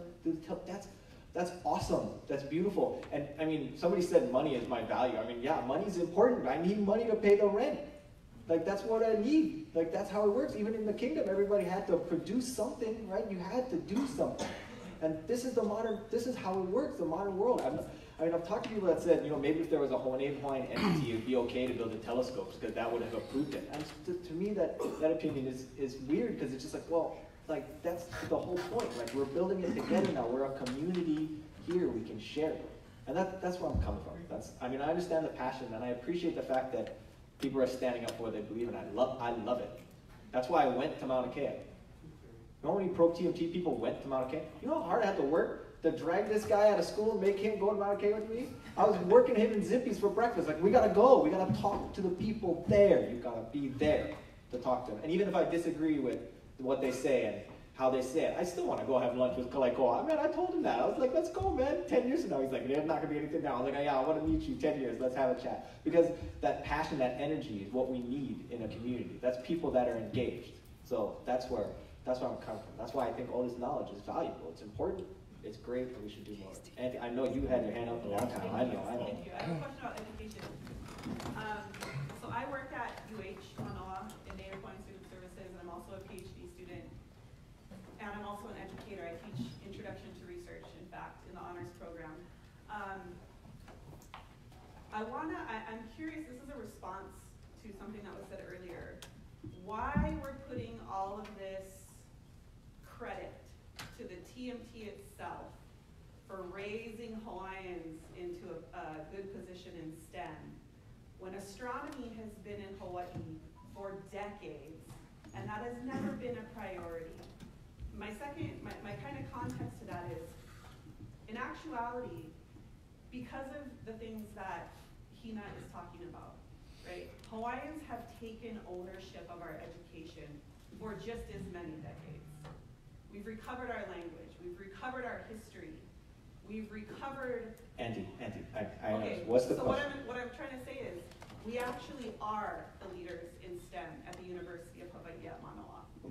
Okay, so if, if astronomy is behind, they should be held accountable to that. Not we go bang and What- say, oh, now finally Hawaiians are What's, going to be Auntie, safe Auntie, in what's our the question? What's the, education what's the in STEM." question? What's the question? I think I see the question. The Okay. question was, why are we, why are we acting like, why are we putting all of these eggs in this, this story about the TMT? When astronomy's been here forever and we're already STEM leaders. Hi. Um, great question, actually. I think the best way, and I apologize if the way I said it made it sound like we aren't already. I guess what I'm trying to say is we are growing by far. 20 years ago, 30 years ago, my dad then went to school till now. Yeah, I would definitely say we have grown tremendously. The community has grown humongously. And all I'm saying is that TMT is just another way for us to grow some more. You know, how many how many professors get at UH now? KS grad and what I mean, at least for me, I know at least three, like personally, and get plenty more. And you know, that, that's just an example. But, but why are we okay with telling the story? Like, we don't got nothing as Hawaiians in education, and TMT's gonna save us. That's- I don't think I don't think we're telling. I, I don't. We're not telling the story that way. I mean, what I'm the story I'm telling, and Wally. I mean, Wally, you can speak to this too. But the story I'm telling is that it's adding to it. It's growing, and it's it's providing more ways to do it. And it's not. You know, the other reason that people, the other reason people talk about TMT in that way is because this fight is not going to end with TMT. The, the the protesters up there, the protectors, Kiai, they're talking about take all the telescopes off. So it ain't about TMT. This is about the whole mountain. This This is about astronomy. A lot of people up there want it all gone. So it's coming. What I, what I will say though, to address what you were saying about astronomy being here, or at least on the Mount established for about 60 years, is that going back to kind of what Wally was saying, yeah, a lot of stuff was not pono that happened. You know, and, and, I, and I'm not saying that people who did do their work didn't do their job, because, you know, I see people in the audience who were actually involved in a lot of the environmental aspect of the Mount back when the first telescope was up there. So I don't want to take credit away from them, but somewhere along the line, something didn't happen right promises for things to come down, promises for contribution to the community never happened. I mean, even if it's not a promise you have in paper, when you have science occurring on the Mauna on our land, you would expect it to come down and bring it back, bring the ike you learn, and bring it back to the rest of the community. And I admit, it hasn't been that efficient because we're here today with having this discussion. And I guess the way I'm looking at it now, that TMT is trying to change that. They're coming in and they're working so hard to actually change the way, be an example, not just to the telescopes on the Mauna, to the leadership on the Mauna, but the other projects that want to come here. I mean, Hawaii is just, again, it's just, Hawaiians, we weren't just astronomers, we were engineers, we were multifaceted, we were a multifaceted culture. We are a multifaceted people. And this telescope right now is just one example of how we can, is just an example of trying to be a leader in that and just bringing it, just adding more, more to the soup, more flavor, more diversity. To, to be fair to you, Makana, Yeah. if my daughter, who's in fourth grade on Inui right now, Mhm. wants to pursue astronomy, Mhm. I will hundred percent support her.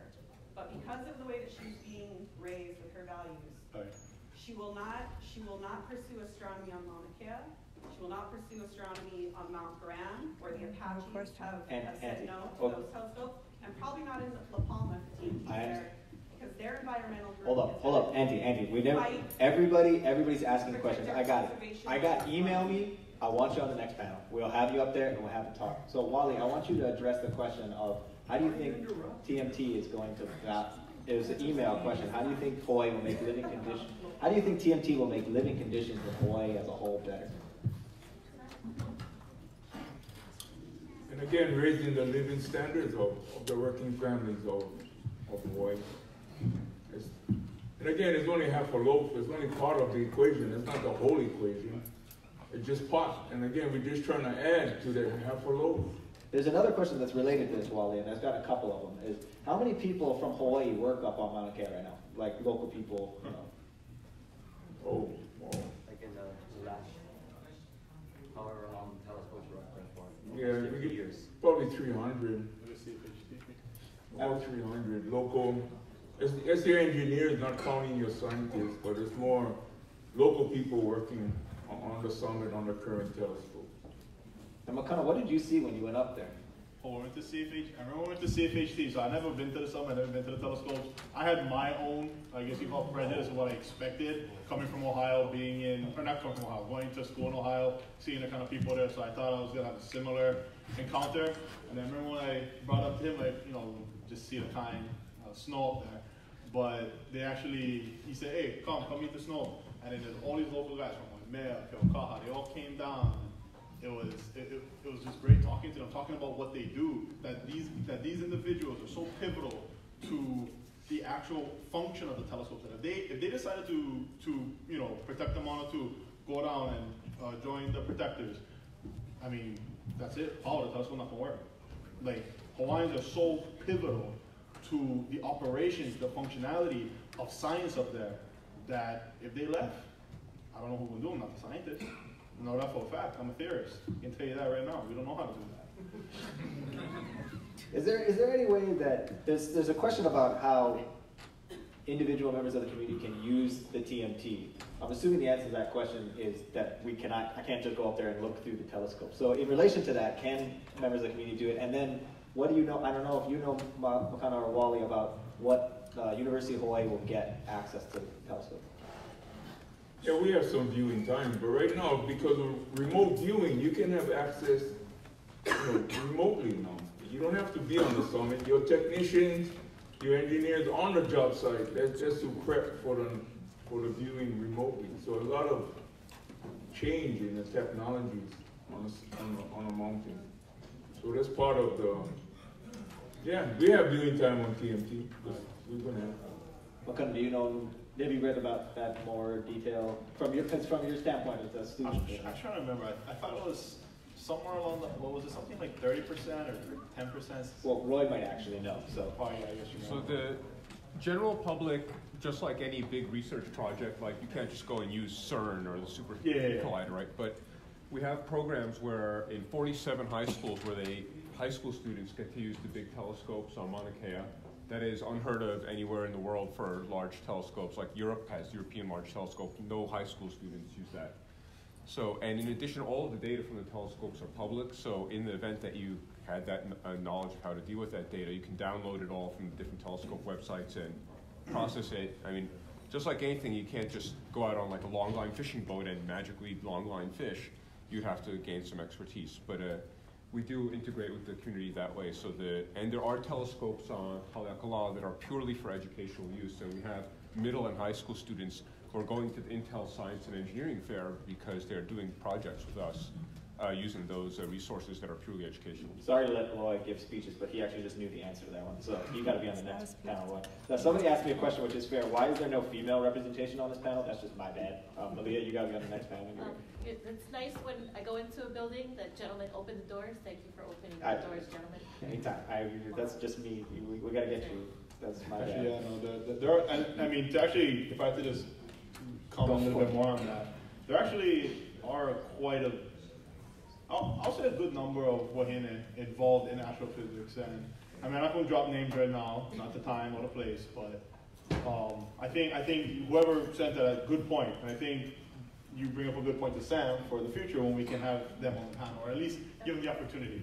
Um, I'm gonna address this question, Sam, because I think I've seen your hand up for quite a bit, I think, or, yeah. I'm actually the one who sent that. Oh, But oh, I have a follow-up question. it was nice meeting you, by the way, at the first rally. Yeah, thank you. Aloha kako. Oh, oh. Lauren Kapoliaki Iakakoa Hakui Ko'inoa. I happen to be the great-grandniece of Walter Heen. Yeah. So my grandmother is his sister, and I just want to say aloha. I'm sorry, I didn't, I. She's your great niece. She family. You have to speak louder. Oh, kalamai. I said, hi, I'm Walter. Right.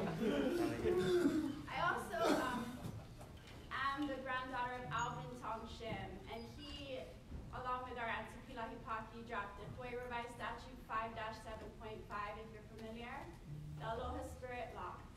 In that Hawaii Revised Statute, Section B, it does clearly spell out the governor and the legislative party's responsibility towards governing this Hainaina. It is a bit esoteric. If you're unfamiliar, I suggest you look it up. Do you know what I'm talking about, sir? The Loa Spirit Law? Yes. Yes, I know, I know what the Loa Spirit Law. is. Have you reviewed Section B of that law? I don't, I would not, I mean, I could probably pull it on my phone, but. You're an attorney, yeah? Yes, that's true. S- Still, so far, I don't know what happened to me after this, but I, I the law of spirit law. I mean, it's an important. I do think that you should look it up. It's um, important, but it's not going to be fundamentally dispositive on I this would, issue. I would disagree wholeheartedly with your assertion of that. I mean, Walter, I, Walter, I, that's you. Yeah, she I, I'm not sure how to answer that, frankly. Um, Because there, there, I don't know, you have to look at this project on Mauna Kea and look at the mountain from the standpoint of going somewhere where Hawaiians have led us in the past and can lead us in the future. And it's an important extension of Hawaiian culture. That's my, that's my view of this mountain. I have a follow-up question, just briefly. What will you do if you lose? I mean, I'm going to go back to work, so. I'm gonna be- Yeah. I mean, that's what I'm going to do. There's another question. Um, are you? That's, thanks, bro. Are you calling today for the government to use police to use all necessary and sufficient force to remove the protesters? I have been calling for that from the start. I think that the governor should clear the road. Now, that obviously does not have to involve tear gas. I mean, the first arrest were, this is actually something we had an interesting conversation about recently. The first arrests were exactly how people in Hawaii want to see an arrest happen if it needs to happen, which is the some of the police officers were related to some of the kupuna that they were arresting, and they were escorting them to the van. And I, I mean, I would, I, I, think the, I think the Kiai went overboard in their description of how the police showed up. Frankly, I think the police were extremely respectful and extremely nice, and I saw a lot of stories out there about how, and I've heard them even on from the seat today, where they were saying as there's, you know, it's, it's, they showed up armored and they have these guns and all this stuff. It's like, well, they're cops. They have to have protection. I mean, there's this, if you've seen the language that's online, you would be kind of a little bit worried too. You would want security. You would want to make sure you're protected. But ultimately, nobody was hit. And it's happened, it did happen before, right? We, on, on Haleakala, it wasn't as, it wasn't as peaceful. And, and I think that's one of the things about Governor Ige a lot of people have criticized him, and I and I and I think that he should have enforced the law in the first instance and and cleared the mountain. But you know, I think he won two tough elections. He's got his finger on the pulse of what we want to see in this state. I don't think anybody in this state I, I wants to see anyone getting hit on that mountain or beat up or tear gas or anything. Everybody's just like, we understand the passion. We understand where everyone's coming from and, and everyone should have the right to speak their mind and to protest. But ultimately, we have to move forward because until someone comes up with a better system of government, we have to enforce laws. Because eventually somebody, even including the people on the mountain, are going to have something that they want to have happen, that somebody else will not want to have happen. And they're going to be very upset when the law is not enforced in their favor. As they've often said, when they went to Supreme Court and they went through the legal system, I mean, it's only when the law is not on their side then this is complaining, and that's why my that's part of my issue. But that's ultimately what I think. Yes, I think they'll have to do that. I don't know if anybody else wants to speak to that. The question of whether or not the governor should enforce the law immediately. Goes without question. That goes without question. That's the law. You gotta enforce the law. We came this far already. The process of arrest is, is actually non-violent. Kapu Aloha really does play a big part in this whole this whole process. It's when you get violent during the arrest when it when it does escalate. But the process of being arrested, you see at Sherwood, you know, we don't like see Kupunas arrested, but it is what it is because we allow it to go this far when it comes to But why don't we stop it? You know, I, I have, I have to agree with Wally. You know, you break the law, you're gonna get arrested. My nephew was arrested. That's not the first time, too. He was in another protest way back in nineteen seventy-four. And he knew, he knew the consequences. He didn't come to uncle and say, hey, do I do this because I, I, I, I don't want to get arrested. That's his races. I've gotten some email questions that are probably more for the Kiai, so I can't really answer all of them. Sorry, guys. Well, actually, get, there was a hand in the shadow. Go for it, go for For a while. I think, I'm sorry, I don't have my glasses, so I think it. Oh, mahalo. So I don't have a statement, but I will say, Kalamai, you know, selling a whole mountain for half a loaf of bread doesn't seem to be a. Antique, antique. What's, what's the question? my question- But my question is, I always hear the rationale, well, and Judge Lee, you spoke to that, that, um, our kupuna, the astronomers, you know, led us in the past, can lead us in the future. But also, they were the same kupuna that would put a kapu on that mountain. So how do you, so that's not, uh, so how do you rationalize that? The very same people that led us in astronomy, look at the stars, put a kapu on that mountain, and if they did go on that mountain to observe the stars, they never leave a mark. Alright. So can you please speak to that? Oh, yeah. Um, at least for me, the way I see it, and I think this is the exact problem, I mean, the kind of the same issues we're facing now, that even within our own community, not all Hawaiians agree with one another. And kind of like, you know, I mean, just looking back in history, the kapu system itself, or, or at least the, the ai kapu, was abolished by our mo'i, by our elite. And they're the ones who actually said, you know, like, you know, got cut. So, at least ju- ju- just from that example, I'm, I'm sure a lot of Hawaiians didn't agree with that. There are people who, who didn't agree with, with that decision that they made, that the decision that our leaders made at the time. So uh, at least for me, like, I'm, I'm not over here trying to say, like, you know, pick my history as to what I want to agree with and whatnot. I guess what I'm trying to say is that the past, there was things that happened. There, these people were influential. and that we need, you know, we need to move forward. There are dreams and aspirations that we want in the future. And I guess what I'm trying to say is, how is it that we can have the, kind of go back to what Walt was saying, we're dealt a certain set of cards. How can we play these cards to the best of our advantage? My dad always said, you know, life deals you cards, and sometimes these cards aren't the best, but it's up to you if you like fold or if you like keep playing the game. And you know, you know, more of the story is just like sometimes things are rough in life, and you gotta make the best of what you got. And I'm not necessarily saying we're settling with this. I mean, at least the way I'm seeing the cards that, that are being dealt right now is that this is just like this is like an ace in a hole, and we can use it as an ace in a hole for us. You know, in the past maybe not so, but now this this one that's coming, I mean, it's coming. Like it's it's gonna be good the way the way I see it at least. So to to address your question. Wally, do you want to speak to that? Yeah, well, the half a loaf of bread is because we already have the half a loaf on our side. To make the whole loaf, let TMT be part of the process. That's what it is. Because we already have the answer that our our children already advanced. We already get STEM going on with our kiddies nowadays. So TMT is just the other half of the loaf that we need. It's just an opportunity to move forward. That's all it is. Hold up, hold up, hold up. Well, When keep you going. say love, Uncle, uncle, uncle, I'm not your uncle. uncle, first of all. Okay, so. Sorry, sorry. Talking to them, not your uncle or auntie. Okay, hold up, but Wally's answering the question. Wally's answering the question. Hold up, No, hold he's talking about up. He's speaking on behalf of everybody. Wally, everyone's speaking for themselves. So Wally's speaking for himself now. Hold up, hold up, Wally, Wally, Wally, continue, please, continue on your, on the, the question that was asked was, how do you, how do you reconcile the fact that the Kupuna put the Aikapu and now we're building it and moving forward, so.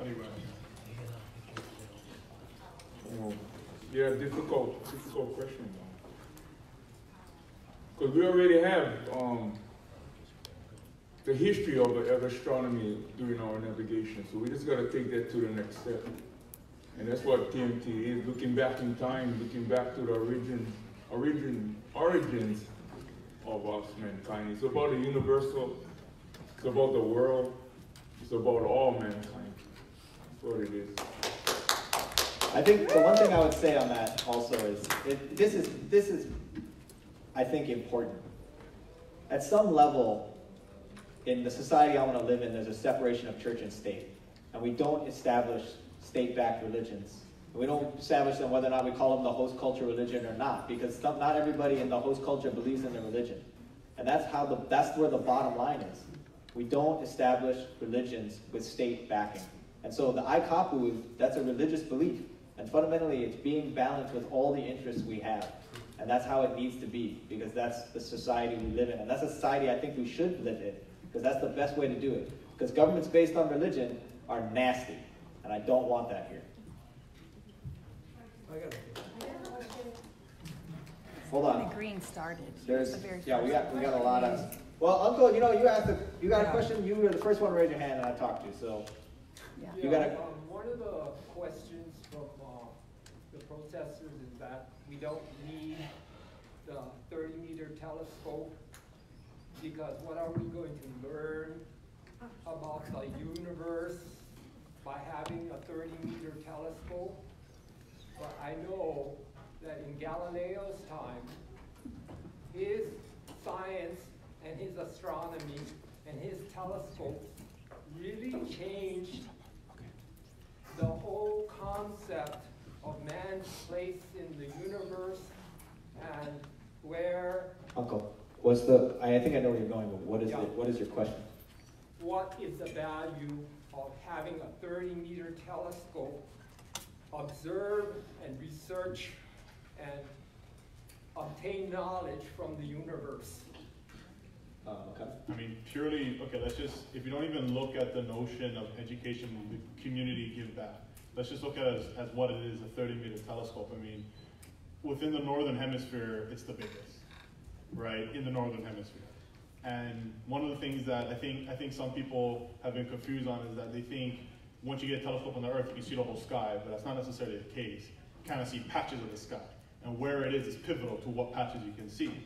So having actually the 30 meter telescope here in Hawaii on Mauna Kea, where the geometry of the Mauna itself is perfect for the way the wind flows over, the way the humidity is up there makes it really good to see certain uh, parts of the spectrum clearly, and just the overall lack of city lights.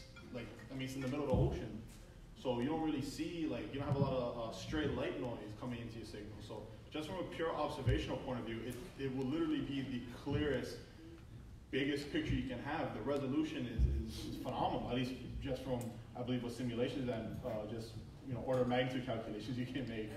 Um, that's just purely the observation and science gathering aspect. And then and you everyone's heard me talk about the education aspect, so I'm not going to go into that. But just you know, if we're going along the lines of what Galileo did and that kind of just pure science aspect, I mean, that's what a 30 meter telescope will do for us. I think one of the other things I've read also, and I'm not the expert, that's probably what you need use on the next panel too, Roy, um, is the fact that especially the difference between Mauna Kea and Canary Islands is that it's higher up, so there's a better infrared spectrum, so you can actually see life on other planets. That's one of the points of TMT, to see if we can find aliens. Wally, do you have anything else on that subject? I got a Wally, question. Walter, Walter. I'd like to make one Probably the best viewing spot in the whole world. Wally?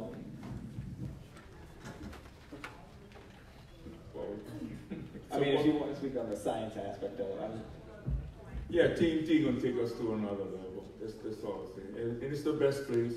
It's an honor to be Hawaiian and have that opportunity. But that being said, we're talking about spiritual.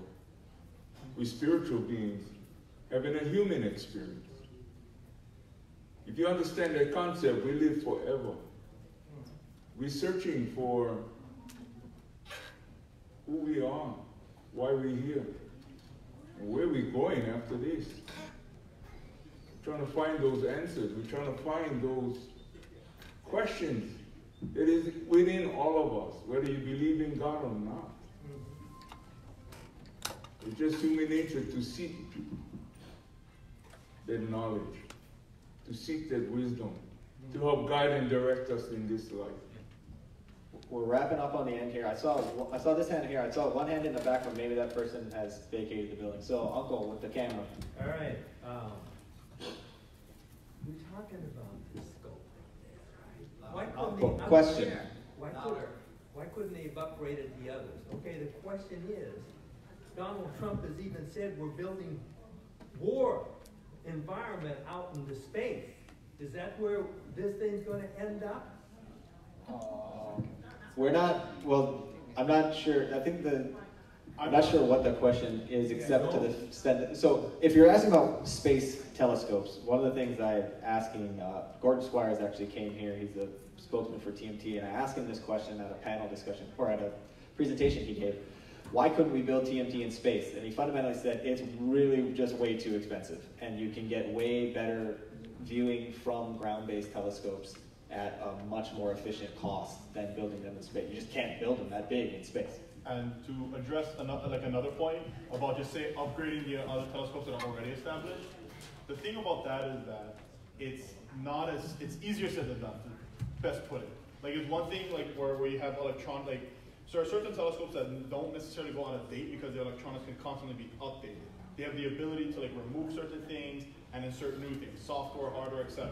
But there are certain things that are just too hard and too expensive to change. So like, again, like to, to have a third, like a 30 meter mirror in one of the other telescopes would just be very expensive. I mean, Roy, I'm sure can speak on the cost. You would have to flatten part of the mountain Well, to do it. You got foreign countries already in the Oh, Big Island with Uncle- geothermal, right? Uncle, What's it un- okay, ge- Uncle, thank you, foreign thank you, thank you. So we wrapped up most of the email questions, which is amazing to me. And sorry if I didn't get to all of them, some of them for the. Yes, I have a Auntie. question, and I don't mean to be rude, but you talked about, um, social media and the different, and that's how I know about all this, so that's what I'm following, and that's how I form my opinions mm-hmm. on this. So you talked about the different stories that are being fabricated on social media and all that. So one of the stories that got to me was, I mean, there are several, but that on Hawaii Island, the, the building code is nine stories. So I'm wondering how you folks got, and you said, we're legally permitted to build. So how did you folks get permission to build an eighteen-story building on the top of Mauna, Mauna Kea when the building permit code on Hawaii Island only allows for nine-story buildings. So I wanna know how that all happened. And then I also wanna know, because I saw on social media, that um, Governor Ige, um, his cousin was the judge who presided over all of these different permitting um, things. So if you got your permitting thing from her, how do you feel if that's a conflict of interest or whatever? I mean, I feel like there's, you know, the, the when I when I saw the the news about how you're having this panel, my interpretation and the reason of my presence here is because I assumed that you folks wanted to see how you guys could share the mana. I personally am not for TMT, but I am interested on how your folks' um, tactics or whatever to try to get peace among each other and our people, um, how you guys are going to go about this. And to be quite honest with you, the, the half an hour that I sat in here, my blood was, you know, I want to see peace within our people, yeah? However you're going to do it, please try to do it. You know, I think, like- I think we had three, three questions in Yeah, there. yeah, Which, one was the, the permitting process. permitting Wally, I think process. you might be able to speak to that. I'm, I'm, we'll have to bring in the lawyers, which I, interest, I don't know if I can sneak them in here. So, so fundamentally, the, the permitting process, that's literally what this is all about. So, so, so step number one, don't read uh, stuff on social media anymore. That's a really bad idea because there's just a lot of lies and intimidation being put out on social media. I, I cannot, I cannot, so go to Comes Inuit. from both sides. Go, I, it's not nearly as much from the protein Regard- side, but I, I hear you, I hear you. But the, what you wanna Google is the findings of fact and conclusions of law. That's the thing you wanna search for, findings of fact and conclusions of law. That will go over all of this stuff, and the permitting process went through, that's why the Hawaii State Supreme Court approved the process, because they said, you went Who over. was the so- presiding judge? The Hawaii State Supreme Court has five justices, so it's, it's not just one The person. per- permitting process is over. Forget about it. I cannot. And I don't think that our people can either. But And I the- think this is a viable part of the argument as. It's not, it's, that's the whole point, it's, it's not, it's not, Process didn't happen. it's not viable, like, the permitting process was done correctly. The, the Supreme Court overruled it because they did it wrong, and then they said you did it right. So literally every single legal step that you're bringing up, they've satisfied every single one of them, that's not an issue. I, On- I am on not the your person, behalf, though. it's On not, your behalf, on your behalf. The protectors that are on the Mauna, and, and there's a reason, and I thought that it was very interesting that you said that you called for Governor Ige to, to arrest those people right now, and you're calling for that. And, the, and the another state of, question. okay, How Auntie, do Auntie, you Auntie, feel Auntie. about TMT paying for an eight point two million dollar bill that is bankrupting Hawaii County? Auntie, When that Auntie. money could be going somewhere else? My answer to that question is, I've given that answer. I think the Kiai need to take responsibility for the fact I that they're acting that today on the illegally. So, news. I, I think, so, so, so, panelists, we've been here for two hours. I want to give you guys a chance to say any closing remarks and wrap it up unless you really, I mean, I'll give you the chance to leave and if you want to stay. I have no closing remarks. Makana, hold up, hold up, hold up. Sorry. So, just, just, just so we can officially close, guys, you know, and then, and then, I mean, I'll be around at least. Someone in the corner over there where the guys in the brown suits are, they, I think he left, but, you know, he was talking about the La and he got, you know, I think we all heard he got mad. From what I understood, he got mad because we were trying to speak for the lahui, or, or we were trying to speak for Hawaiians, but I think that is the problem. For me, that's, that's what gets my blood boiling when people around the world, my, my, my colleagues where I work at and everywhere else think that Hawaiians are not for this, that Hawaiians are against this. And I was like, no. I said, like, there are Hawaiians with a voice and a passion and hurt, and they're channeling it through their voices this way. But for me, and many others like me, we have a voice, we have a passion, we have a vision as well, that we're challenging it this way.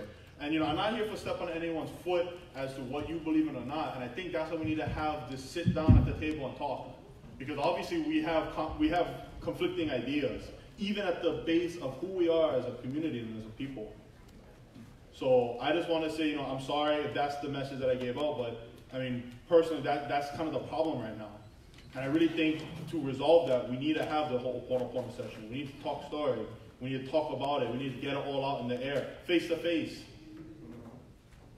So that's my closing remark. Thank you again for everyone who actually came. Mahalo nui loa, all of you for your participation. Appreciate it greatly. As we move forward, Um, this is not the end. Even if we move the roadblock, we still be on a summit. I see you on the mountain. We still gonna be there, and you and the protectors will still be there. So it's not over. We still have to have the discussion. I think I think it's important. But please, let's unite. We, I cannot see the divisiveness in, in, our, in our people. You know, it hurts to see it hap happening this way, but it is what it is. we got to move forward together, Hold on more. That's what it is. So I appreciate all of your participation. As we move forward, let's, let's unite, people. Let's unite. Truly. Thank you. And I really want to thank everybody, you know, whether you're pro TMT or only TMT, because this is, this is how we get stuff going this is right here. Have everyone come to the table. You know, the example, you know, some people may have felt hot-headed, some people may have felt uncomfortable, but I, I thank you guys so much for coming out of your comfort zone, whatever it may be, and talking with us right here. You know, whether it's through the email, you know, I, I know it was kind of a little unorganized with how we pick questions, but thank you for bearing with us, and thank you so much for having the discussion. I hope this is the kind of stuff we can promote more of, this, this sort of dialogue. Thank you again. Mahalo. On that note, so you can find out more about our group, imuatmt.org, imuatmt on Facebook. We're going to try and get more word out about this. I already got one guy email me wants to be on the panel, so I welcome anybody email imuatmt at gmail.com. Let me know. We'll keep going. Thank you very much. Mahalo. Mahalo.